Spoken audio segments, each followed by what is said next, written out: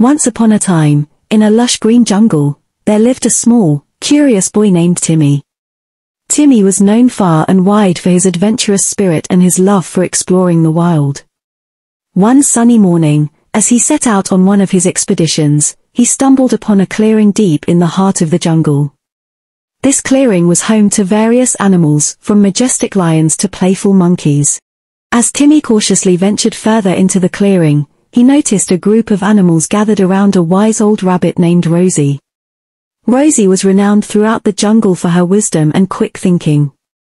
She had a reputation for helping animals in need and solving their problems. Curious about what had drawn the animals to Rosie today, Timmy approached the gathering. He overheard a distressed lion named Leo explaining his problem. Leo had lost his way in the jungle and couldn't find his way back to his family. He felt helpless and afraid. The wise old rabbit, Rosie, listened carefully to Leo's predicament and said, Fear not, Leo. I have a plan. We will work together to guide you back to your family safely. But we need the help of all the animals here. Each of you has a unique skill or ability that can contribute to our mission. Timmy was filled with admiration for Rosie's wisdom and her ability to bring together animals of all kinds for a common goal. He decided to offer his assistance as well. Rosie assigned specific tasks to each animal. The monkeys, with their agility, were tasked with swinging through the trees to scout for Leo's family.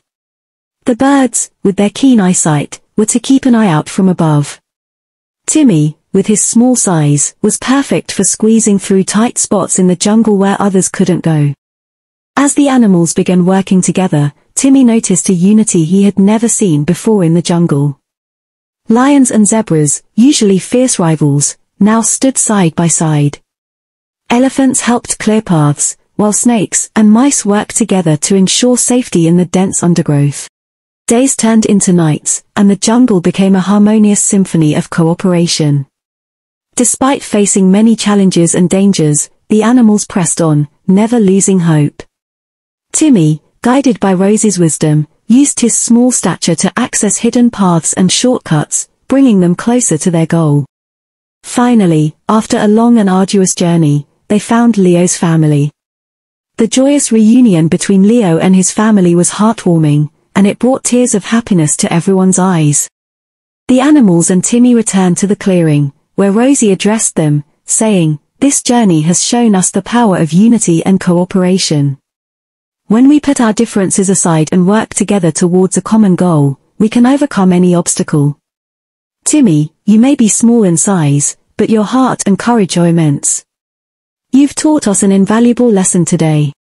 Timmy felt a warm sense of fulfillment, having contributed to such a noble cause.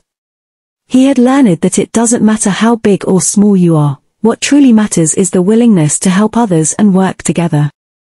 From that day on, the jungle was a different place.